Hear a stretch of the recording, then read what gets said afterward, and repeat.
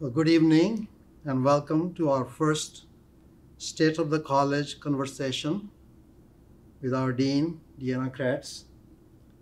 I'm Milap Nahata, Professor Emeritus here at the College of Pharmacy, and I'm honored to serve as your host tonight. A few housekeeping items before we begin. First, this webinar is being recorded to be able to share with those who could not attend. Second, we will take questions from the audience at the end. So please feel free to submit them at any time throughout the event through the Q&A box at the bottom of the Zoom screen. And finally, closed captioning is available at the bottom of your screen as needed.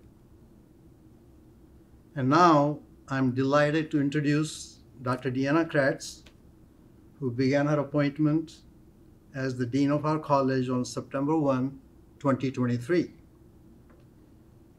Dean Kroetz returned to her alma mater from the University of California, San Francisco, UCSF, where she served as professor and chair of the Department of Bioengineering and Therapeutic Sciences in the schools of pharmacy and medicine. She also held the, prestigious Jerry Goyan Presidential Chair for the Advancement of Pharmacy. Deanna has been an exceptional academic leader and an internationally known scholar who has successfully applied human genetic tools to understand drug toxicity. Her compelling research question has been how and why does chemotherapy used to treat common types of cancers cause nerve damage, what we call peripheral neuropathy? This is an extremely important question in patient care because it happens so frequently and the nerve damage leads to discomfort, pain, weakness, numbness, in arms and legs and other parts of the body. Also important to know is that some patients may recover soon, while others may continue to have this problem for months and years after exposure to chemotherapy. Given the clinical significance of this work, it's no wonder that the NIH, the National Institutes of Health, has funded her lab throughout her career this is exactly the type of work that is required to explain why patients respond differently to the same drug and dosage regimens for efficacy or toxicity to transform drug therapy and achieve better clinical outcomes. I am pleased to say that Deanna earned her BS degree in pharmacy from Ohio State in 1985 and her PhD in pharmaceutics from the University of Washington. She then completed her postdoctoral fellowship training at uh, National Cancer Institute before joining the faculty at UCSF. Welcome, Deanna, and let's get started with some questions. The first question I want to ask is, uh, I already shared some highlights of your professional journey. Could you please share with us a bit about yourself?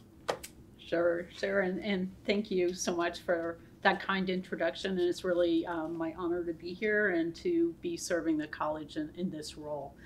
Um, so, uh, some of you I might have uh, heard from me already that I grew up in Ohio. I grew up in Northwest Ohio in Findlay and um, have been a Buckeye all my life. So, it's also fun to be back and be a Buckeye again. Um, I, you know, I guess I um, you know, I grew up in a relatively small town, uh, knew healthcare, and always thought I wanted to uh, go into some healthcare field because that's what I saw around me. Um, but really uh, enjoyed science and math in high school, and so um, somehow just from knowing the pharmacy across the street from the hospital where I volunteered, I thought, oh, that sounds fun. So I ended up here. Um, you know, I grew up in a time when you didn't have all the information that you know about professions now. So you sort of look around and see what people are doing. Um, I was always intrigued by science. My uh, father is an agronomist and worked for Ohio State Cooperative Extension Service, so I spent summers going out in the field with him and looking at his little test crops and you know they were testing different herbicides and trying to see what what worked the best. Um, so i did kind of have that science bug as a, as a young kid. Um, but i think um, you know i didn't wasn't really until i got here at ohio state and in the college of pharmacy that i envisioned that i could be a scientist. I wasn't any I didn't know a, a, a scientist, a lab based scientist. And so, um, you know, it was really being here that really set the path for my career. So, was it undergraduate research that? Yes, it was. So when I, um, you know, in your early years, you probably remember we had a chance to specialize. You could specialize on the administration side or in clinical practice or in, in pharmaceutical research. And so I chose the pharmaceutical research pathway and had the pleasure of being uh, mentored by uh, Dr. Dick Reuning, who was the longtime chair of pharmacy practice. That's right. And so he really got me excited about research and um, learned pharmacokinetics from him and he is the one who sort of pushed me, steered me toward graduate school. So I, I really owe that uh, to him that I ended up in the field. And really, my work does come from the ideas of pharmacokinetics and really understanding optimization of, of drug therapy. So, yeah, so it's really Ohio State that set me on that path. It's wonderful. You just completed the first year, mm-hmm. academic year. What are your first impressions of the college and Ohio State? Well, first of all, it's great to be back. Um, we're really enjoying being back on campus, being at Ohio State again, being in the college. Uh, some very familiar looking halls in Parks Hall. so it's like taking a walk back in time. Um, and really, I, am I'm impressed by uh, the people have been amazing. Uh, it's really it's it's really heartening to see how much people love this place. I would say the the students, the faculty, the staff, everybody has been welcoming. Um, they're very dedicated to their jobs. They really want to make sure we provide the best education for our students. We do the best research, and so that has that has really um, been exciting for me to see. Had a chance, I think, to meet almost everybody in the college now, so uh, I, I feel like I, I have a pretty good sense of what's going on. Um, you know, I think it's also an exciting time to be on campus. There's a lot going on. I'm really excited about research innovation on campus. Um, there's uh, many of you might not know there's a new uh, research campus on the other side of the river. We call it West Campus or Carmenton. There's a lot of very exciting interdisciplinary research. We have a couple of our faculty over there now and lots of opportunities, I think, for growth and interdisciplinary research because of some of these initiatives on campus. Um, so I think that adds uh, to my excitement about being back. I see a lot of, of possibilities. Uh, we also have, you know, of course, the medical center um, and the interactions that, that we can have with the medical center. All of those things, I think, um, have really excited me about the possibilities of what we um, can do here at Ohio State. And, and when you were here, everybody was in one building here. Right, right. When I was here, yeah, this was it, Parks Hall. now we're, you know, we have the building, part of the building next door. That's we right. have people, you know, across the river now. Um, so yeah, we're we're expanding, which is is also exciting. Well, we're so happy to have you back. Thank you. I raised the question yesterday with uh, Bob Buerki. You might remember mm-hmm. he was a faculty here when uh-huh. you were here he uh, his area was history and ethics. Uh-huh. So I asked him that is our current dean the first one that got a degree and came back as a dean, and uh, I believe you are. But but he I just wanted to confirm, and he said I think you're right. So he he has written college history. Uh-huh. So right. Great to have you back. Yes, I have a copy of the latest college history that was written. So, well, the U.S. News and World Report, uh, as you know, recently ranked our College of Pharmacy first in the state and fourth in the country among all 141 schools of pharmacy in the country. can you comment on this great news, uh, how that happens, and uh, what that means?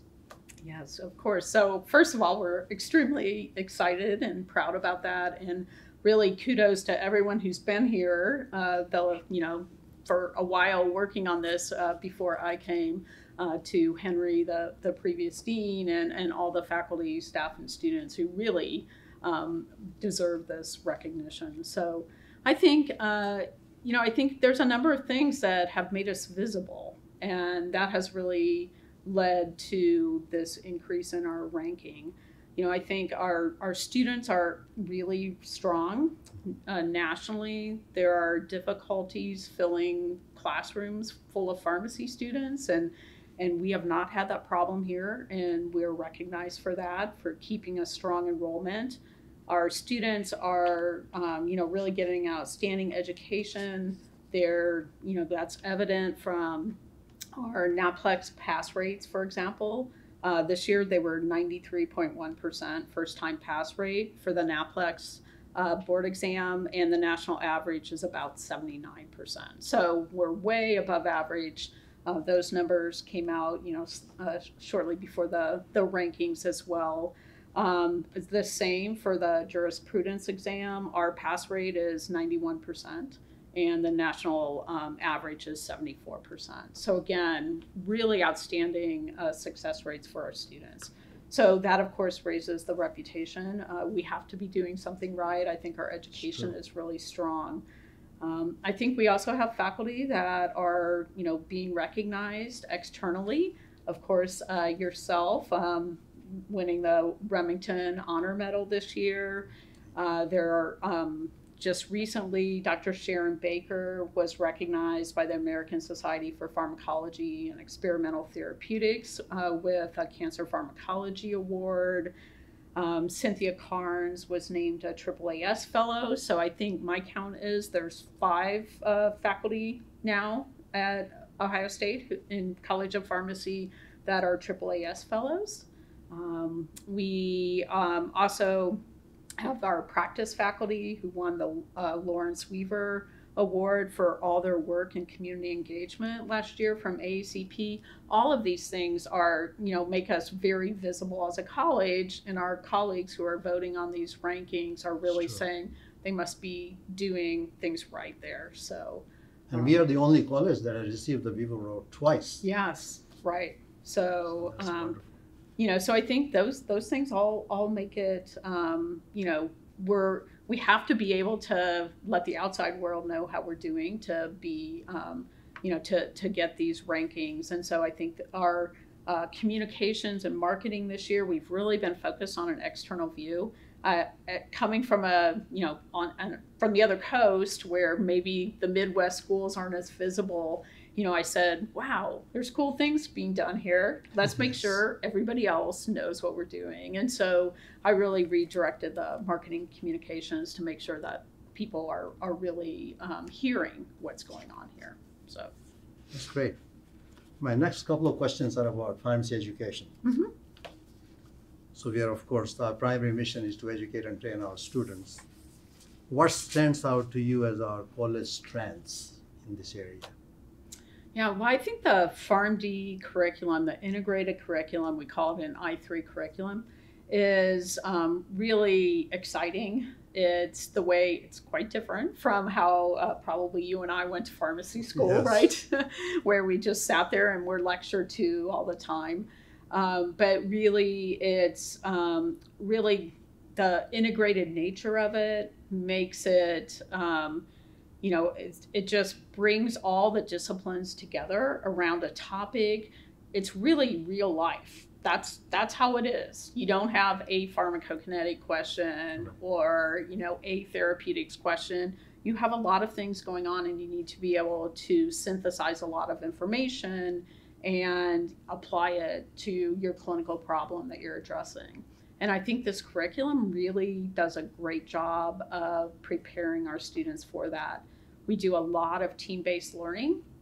We have um, amazing new classroom, and by the end of next year or sometime early 2025, we'll have two new classrooms like this that are allow us to do this team-based learning. Students work in, in table groups, the faculty are moving around the room, and there's a, a lot of interactive learning that's being done.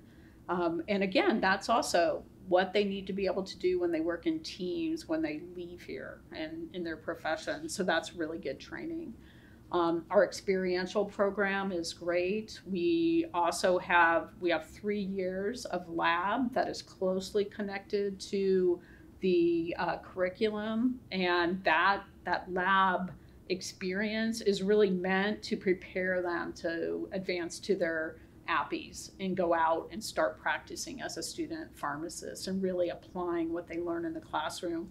And so I think all of those things are, are really um, just outstanding in, in the, in I the teach, curriculum. as, as you know, I teach therapeutics, hmm but when we are doing patient cases, with me is a faculty from medicine chemistry Yeah.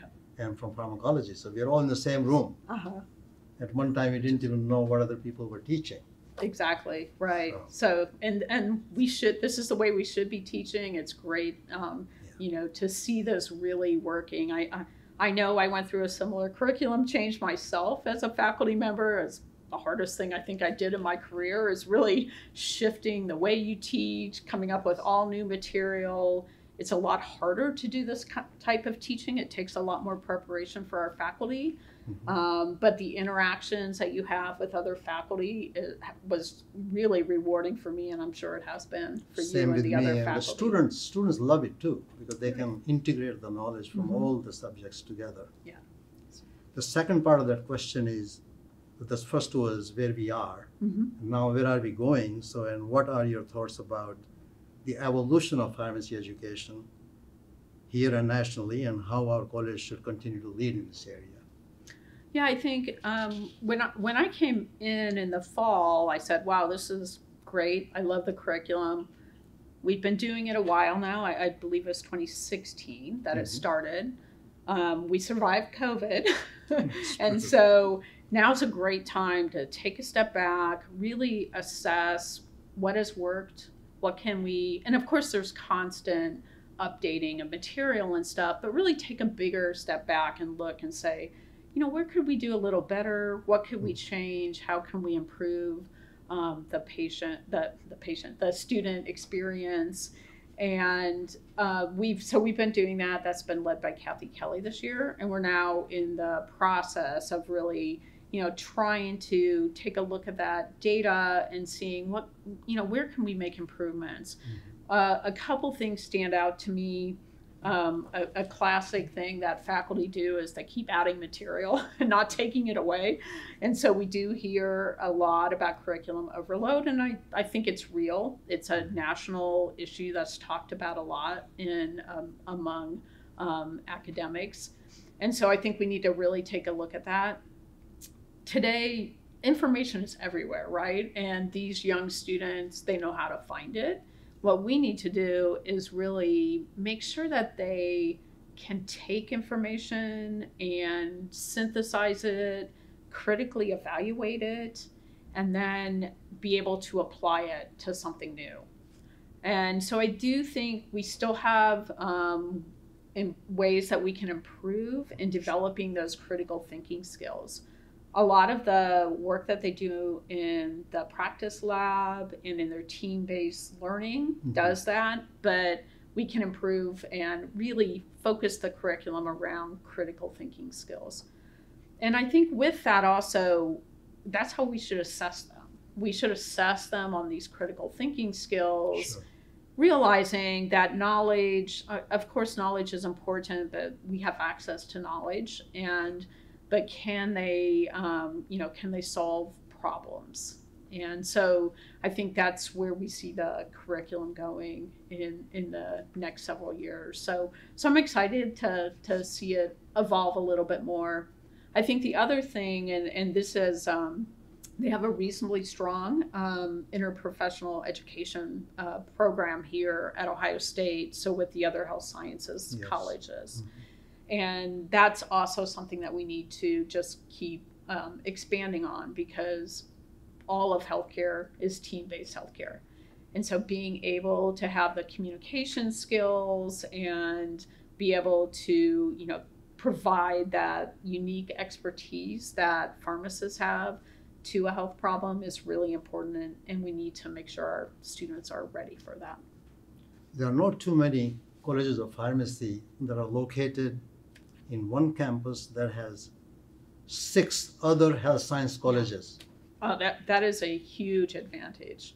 So they can, you know, learn right us right alongside um, the medical students, the optometry, dentistry, nursing, you know, the social work and public health. They're all right there with them. And, And another that is- comprehensive, such a Yeah. comprehensive university.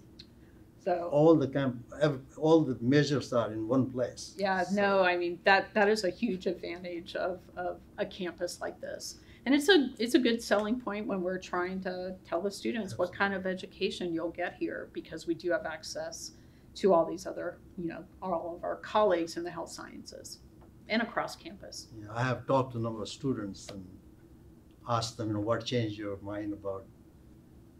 They, they thought they were going to go to ABC and Uh-huh. Ohio State in the beginning. In their mind was B or C. I said, what made it an A? And they said, coming here and visiting, and just felt right. hmm I should be here. So That's wonderful. Says a lot. Yes. And so many, I, I've met many students who are visiting on their um, admitted students days, and they were in awe at seeing like the medical center is literally steps across the street. That's and true. so they really thought, wow, I'm going to be right here in the middle of all this, you know, healthcare and health education. So, But we're also unique in having a BSPS program, mm-hmm. Bachelor's of Science in Pharmaceutical Sciences. Mm-hmm. Not many schools have that. And it's really important feeder program for us. So I wanted to get your your thoughts on on how having that program helps us Mhm. and where, what can we do better with that program. Yeah, so so I was excited. I, I, I was actually really familiar with the BSPS program because I was the beneficiary of it as a graduate program director at UCSF, and we recruited a number of just outstanding uh, BSPS graduates to our PhD program. So I was well, I was very familiar with it. Uh, it was a place we'd like to recruit from. Um, I'm, I was excited to see how strong it was and how much it has grown. And I think there's a number of reasons for that. It's obviously, as you mentioned, it's a pathway program for us. It brings a lot of people into our PharmD program, and that's really important, especially with declining enrollments na- nationwide. So we also see that many of our colleagues are trying to copy us Yes. and do this because they realize that it's helped our enrollment. Um, but I think, and so it's great for pharmacy, um, but it also is a, an amazing foundation for any pre health student. And it really provides a lot of opportunities for them. Mhm. In the graduating class this year, we had students going to dentistry school, medical school, veterinary school, graduate school. So, all different possibilities. Um, and so I think there's, you know, there's a, it's a, it's a great overall pre-health um, program. I think the students they they really benefit and they realize that they're in they're on a large campus, but they're in a small undergraduate program. That's true. And so that they we really give them individual attention. We help, you know, we help the students with their early struggles in chemistry, for example. We have support for that. Mhm. We have, you know, career advice and all of that that, you know, they don't have to look very hard because it is a relatively small program. Um, so we have some ideas about, you know, enhancing even more. Um, it, the number of students who are doing undergraduate research from that program continues to increase.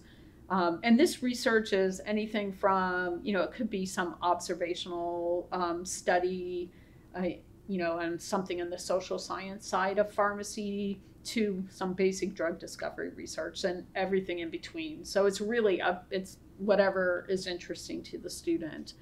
Um, so we want to keep increasing that. We might add some sort of capstone project uh, to the degree um, to really engage our students even even further. I think the um, other exciting thing, which I really didn't appreciate until I got here, is on top of so we our number of students is increasing for the BSPS major, but we also have a, a large number of students who get a minor in BSPS. And really, that comes from our um, general ed courses which I don't, I'm not sure any college of pharmacy does this. Mm-hmm. And every place I go, I tell people about this, and they're just in awe.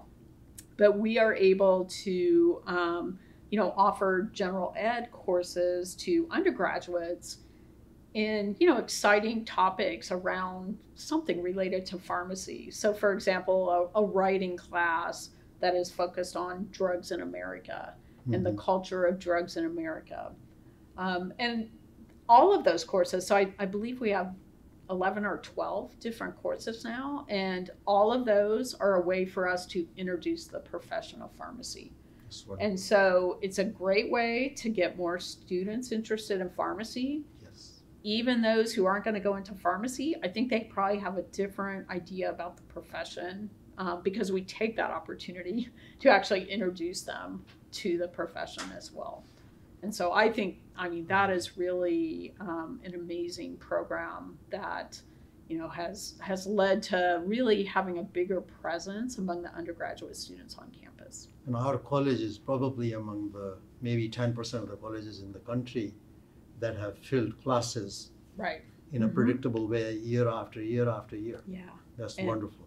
And I think, you know, this this way that we introduce undergraduates really contributes to that the same the bsps program you know one of the first classes they take is an introduction to pharmacy so we're already getting them to think about what opportunities what career opportunities could there be in the profession yes. and so i think that's really important so our college of pharmacy as you know has been a leader both in ohio and nationally in advancing the profession of pharmacy mm-hmm. how important is that work for us and uh, how might we overcome the challenges currently faced in the profession to lead with practice innovations and to benefit the profession and patients and community at large.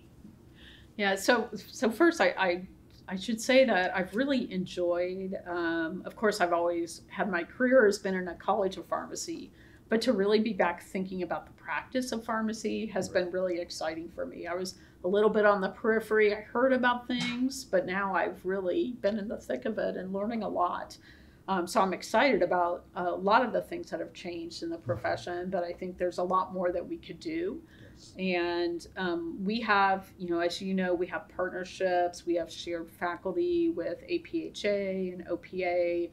Um, we also have a very close relationship with um, the legislative affairs team through the medical center. So we work closely with them on a lot of legislative issues and lots of advocacy work generally for the profession.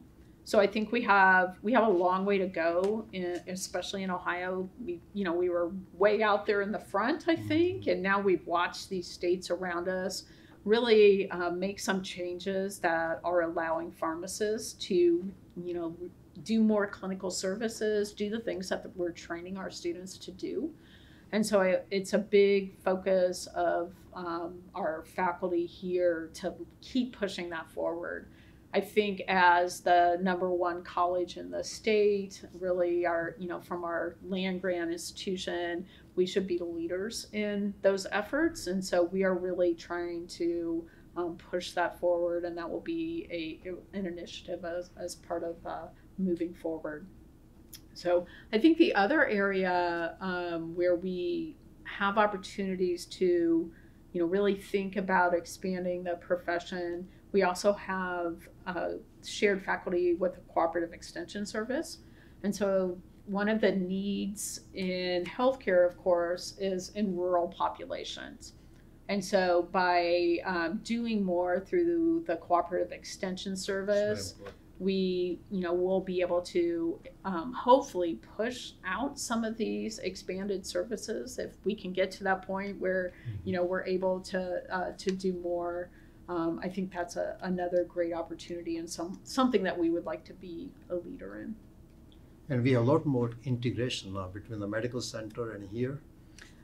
The practitioners from there come here to teach in our courses, Absolutely. and our faculty have joint appointments, and vice versa. Absolutely. That's very healthy Uh-huh. hmm for students to get the cutting edge information. Right, right, and you know, having having those people who are practicing day in and day out, really, you know, bringing that expertise into the classroom is really important. So next question is going to be about research. So conducting impactful research on drug discovery, development, optimal use of medications has always been part of important part of our mission. Can you speak about the research being done at the college and uh, what you see as our strengths and opportunities for growth uh, in this area?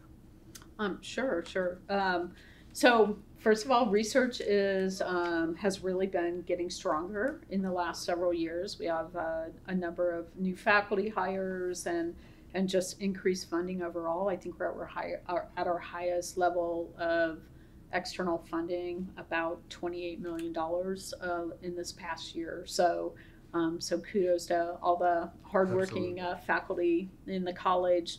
You know, we have very strong programs in a number of areas. Uh, we, we have a strong focus in, in cancer drug disco- discovery and development. Um, we also are getting an increasing presence in infectious diseases. And so I'm excited about that. Um, we have, you know, uh, some pockets of excellence in pharmacology and drug development. But I think there are opportunities for growth in a number of areas. Um, there's interest in trying to uh, think more about AI and how we should, how AI can aid, especially in the drug develop, drug discovery um, process. I think we don't have a lot of uh, translational work. Um, you know, thinking about all these large, uh, publicly available data sets out there, human data sets that can be explored for understanding of you know pharmacogenetic questions looking for biomarkers of drug response. There's a lot of excitement in these areas and we really don't have um, faculty doing that type of research more translational research. The same uh, very excited about uh, recent joint hires. We have two young faculty who are joint hires with the medical center. And so, opportunities for clinical research there, um, an area that we need to expand onto. Um, and I'm really looking, I, I've been working this year to try to develop uh, relationships with colleagues in bioengineering, other aspects of engineering um, that are relevant to some of the things we do. I'm really excited. Hopefully, soon we'll have a new dean in public health and we can start partnering more with public health. Um, so, the CTSA is sort of uh, really trying to expand its outreach beyond medicine. And so, there's a role for uh, faculty in the College of Pharmacy there as well. Some of the audience may not know what CTSA is. Oh, yes. So, the CTSA is the Clinical and Translational Science um, Institute and they you know really are the hub for clinical and translational science. Here at these are uh, nih funded institutes across the country. Here at ohio state it was largely in medicine. Mhm. and so um, actually one of our alums one of my classmates uh, julie johnson uh, came back to ohio state as well to lead the ctsa so um, that's a great opportunity for us to be involved in those efforts. And UCSF has always had a track record of excellent research funding. yes absolutely Mhm. That's wonderful. The college, uh, you know, is in the process of creating a strategic plan. Mhm. And uh, would you like to share some highlights of uh, opportunities and where we would need to focus on in coming years? Some highlights. Yeah, so so we've been working on this strategic plan all year, um, and we're getting close. We just had a very energetic re- all-day retreat in early May, and I think a number of things came out of that that really align with what I was thinking about when I came into, you know, just some high-level areas where where uh, there'll be things in the strategic plan. Of course, around the research mission, I think expanding research overall, all the way from clinical to discovery biology, um, including applications of AI. Uh, that will uh, be a big focus. I think um, we, we're sort of calling it modernizing the curriculum. Mm-hmm. Not just our PharmD curriculum, but also thinking about what else can we do? Are there uh, certificates or micro credentials that some of our students might be interested in? Maybe adding a data analytics micro credential could really, you know, give new opportunities for graduates of all of our programs, or some combined degrees. Um, you know, those are opportunities that we really haven't expanded on a lot. Um, I'm also a, a, really important aspect of our strategic plan will be expanding our partnerships. And these are both internal partnerships as well as external partnerships. I, am excited by uh, the, the uh, beginnings of opportunities in the pharmaceutical industry in Central Ohio. I'm, I'm sure it's only going to expand in mm-hmm. this area. And so I think that gives us opportunities to really start partnering with some of these local companies. Um, so yeah, so I think there's there's lots of uh, lots of things. I uh, the one one other thing I should mention is we do also want to make sure we're really aligned with our land grant mission. Mm-hmm. And so again, focusing on this advocacy and practice advancement and community engagement will also be part of that plan. And MS in Health System Pharmacy and Leadership Program has has legacy of absolutely tremendous graduates. Mm-hmm. Many of them are leading huge systems, yeah. and some of them probably are on the in the webinar here. So that's another recruitment we are we are undergoing Ab- right. Absolutely, we're recruiting a new director right now and really talking about also what can we do to make sure that those graduates are ready to continue uh, to be the leaders uh, in these health systems. So I think there's a lot of exciting um, opportunities for working professionals partnering with other residency programs. So I think you'll see a lot of changes in that in the coming years. So Ohio State has a new president as of last few months. Mm-hmm. Uh, President Carter recently completed his uh, tour of the campus and uh, visited our college. Can you share with us uh, what his visit was like and uh, some of his reactions to what he saw? Um, yeah, so it was it was fun. We each college got 90 minutes with the president, so he is quite engaging. I, and we we spent some time really planning I had 30 minutes alone with him and then an hour to show off what I wanted to in the college. So I, I was uh, really fortunate that there was a great class of uh, first year pharmacy students, and they were doing a team based activity around a patient case. And so we started off with that, and we walked in there the room got really quiet. Dean walks in with the president. Of course, we weren't allowed to tell anyone that he was coming. Only the people Supposed that were Supposed to be a surprise visit. Yeah, and for security, and yeah. we just only the people involved knew. So the students were uh, quite surprised. But uh, he walked up to a table of six students and you know there's a, a question on the case on the screens in the room and he looked at the first question and said, you know, so what's the answer? And they were they were amazing. They stepped up and gave him the answer. He asked them questions. They responded. So it was great. And then he he asked at the end, could I talk to the class? And he told them how much he valued the profession of pharmacy and um, you know what they do is really important and really important for the community. So that was also great. We also um, we were able to show them the practice lab, and students were um, uh, practicing their immunizations in there, and so that was uh, he, he got to see them in action there, and then we also you know kind of walked him around the practice lab and all our counseling rooms, and just sort of showed him what type of clinical training they get. Um, and then we showed him some uh, of our research base including uh, our phenotyping core that's part of uh, drug discovery efforts mm-hmm. for uh, funded through the cancer center. Um, he was really into the high-tech equipment in there. So he had lots of questions about that.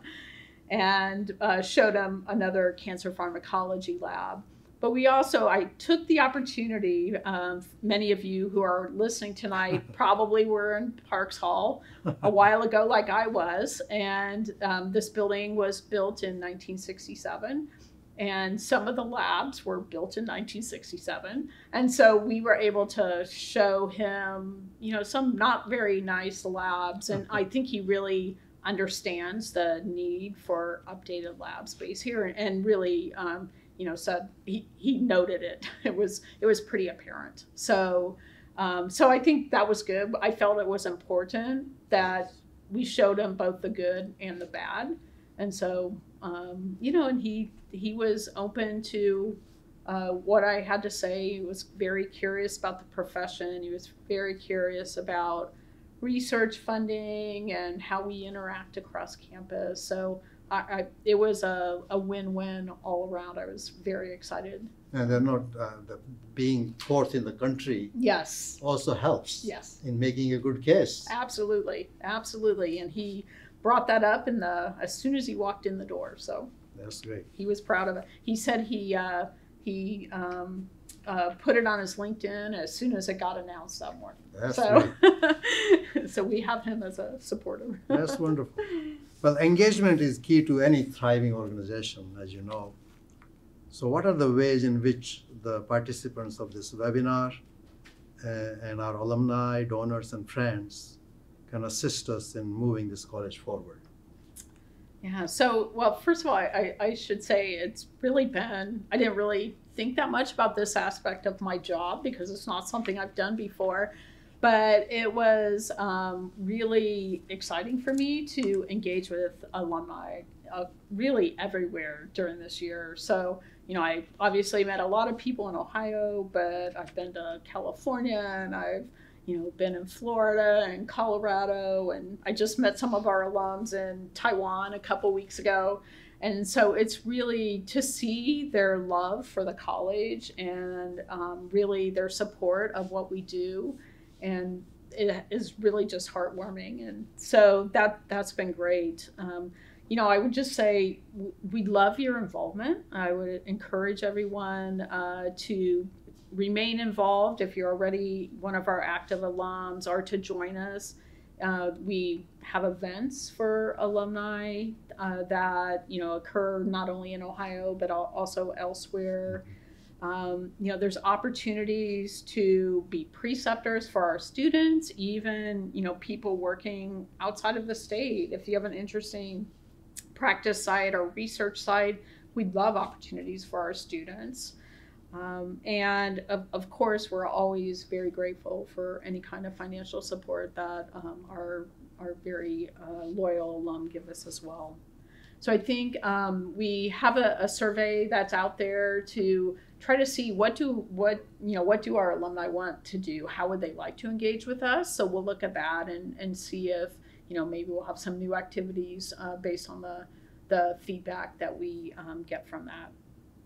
Um, I, we do, uh, our alum are very supportive. Uh, they support our students. We get a lot of financial support for our students, which is really, really important mm-hmm. uh, to be able to get a diverse group of students in here. Um, it's it's a long route to a PharmD, and so mm-hmm. that's that's uh, it, it's financially straining for a lot of our students we were able to i know many of you contributed to the um, time and change campaign mm-hmm. and we hit our 50 million dollar mark. Um, so yeah big big achievement. So thank you to everyone who contributed to that. Um, and we still have we're in the last year of the campaign and we have one more goal that we'd like to meet as a college and that is to um, have 3000 unique donors. And so we're almost there we're at 92% of that goal. So I'd encourage anyone um, who has not uh, contributed to the Time and Change campaign to help us meet that goal as well. But really, um, the support is, critical for all of our missions and really um, so so appreciated. Well, I see one question on the screen here. Uh, people were curious about what's how's your enrollment right now, uh, both in the PharmD, PhD, and MS program, and thank you for putting in the numbers. Any more you, you would like to say about? Uh, yeah, so um, so the PharmD we we are getting class sizes on the on the large size this year about 138 next year 135 which is quite large about the size of our classroom so that's that's really our limit is what we can fit in the classrooms that we have um, around in the phd program is is we're we're getting typically we get somewhere between 15 and 20 students a year into the, the PhD total number programs. is about which has stayed about the 90 90 to 100 yeah. yeah. So, and um, the MS uh, HSPAL program is, a, is about, uh, we we have about uh, about 20-ish uh, students in, mm-hmm. in the program at any time. Mm-hmm. And that, that enrollment we'd like to increase. And you know, this, I have gone around the country and, and one of the common questions they ask is, how's your enrollment? Right. And when I tell them that we have exceeded our goals mm-hmm. in many of these last 10 years, they are surprised. What are you doing? That is so unique. Yeah. Tell us, give us some formula. well, that's what that's one reason why they're trying to copy the BSPS yes. program. But yes, yes they're um, they're quite interested. I get that question often. so you're ready for our, your questions. Please uh, feel free to ask us any questions you might have. What has been most enjoyable part of being back? As we wait for the questions, and yeah, I think uh, re-engaging with people at Ohio State has been really rewarding. So being back in the college and just, you know, seeing what has changed and being part of it again. It's very different being here as a student and yes. coming back as faculty and as dean. So I think uh, uh, just, yeah, that I can't even begin to tell you how many people I've met this year and just thoroughly enjoyed uh, really being around new people and, and seeing a, a, new perspective on pharmacy education. And I think we were talking about engaging the alumni or donors mm-hmm. friends. Absolutely. And also seeking their input about professional development. Mm-hmm. What mm-hmm. are the needs that they have that we could Right, right. You could offer them help. Mm-hmm. Yeah, and so we would definitely like to, to hear from hear them on that. that. Mm-hmm.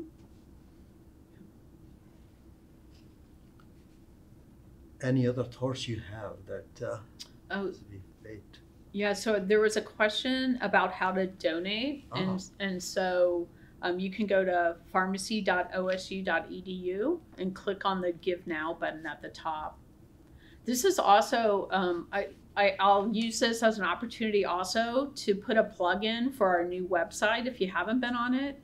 It came it's been out now for several months. I can't remember exactly when but it's been several months now um, and it's it really gives a, a, new look to the college. So uh, kudos to our marketing communications group that worked on this for quite a while and i think uh, you'll be excited about all the information at that website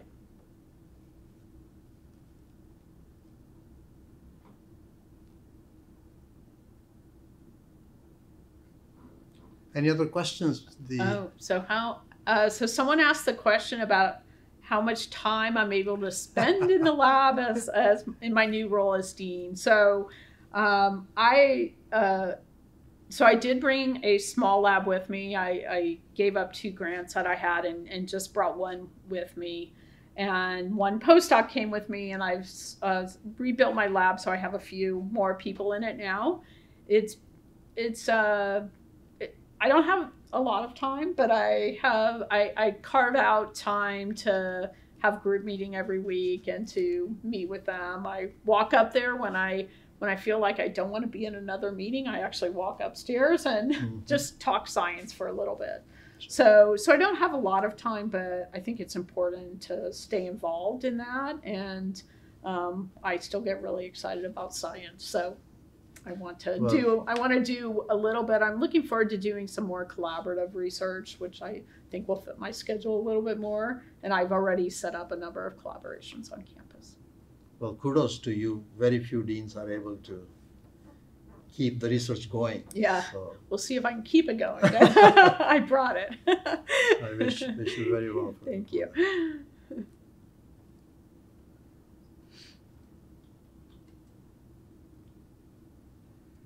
Well, thank you, Deanna, for uh, sharing your insights on a variety of topics and the great things happening and being planned here at Ohio State.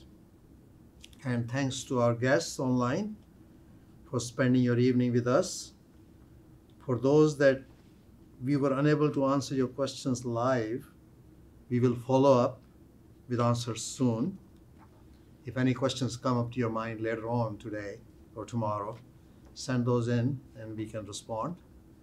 And a copy of this recording will be available later. We hope to see you all in person soon. And we are thankful for the network of Pharmacy Buckeyes that give back to the college through their talent, time, and treasure.